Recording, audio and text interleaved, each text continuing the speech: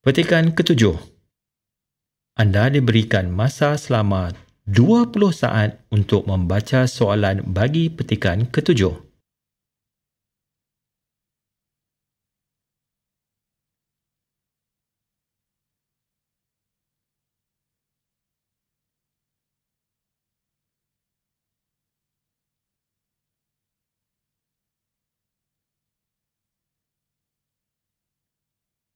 Dengar petikan berikut dengan teliti dan jawab soalan-soalan yang diberikan.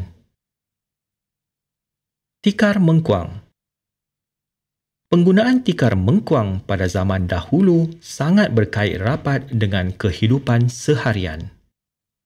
Antara kegunaannya adalah sebagai tikar pengalas, tempat duduk, bahan pembungkusan, alas dinding layar membanting padi, tikar menjemur padi dan lain-lain. Tikar mengkuang masih mendapat tempat dalam kalangan mereka yang cinta akan seni kraftangan tradisional.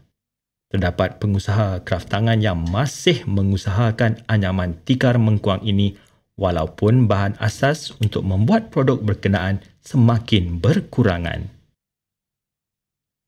Anda diberikan masa 10 saat untuk menyemak jawapan.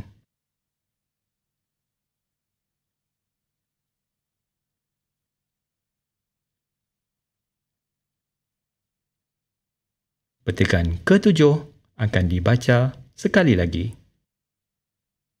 Tikar mengkuang Penggunaan tikar mengkuang pada zaman dahulu sangat berkait rapat dengan kehidupan seharian.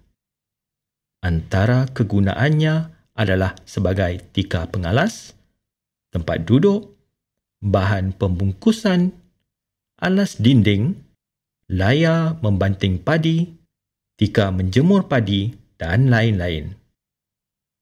Tikar mengkuang masih mendapat tempat dalam kalangan mereka yang cinta akan seni kraftangan tradisional terdapat pengusaha kraftangan yang masih mengusahakan anyaman tikar mengkuang ini walaupun bahan asas untuk membuat produk berkenaan semakin berkurangan.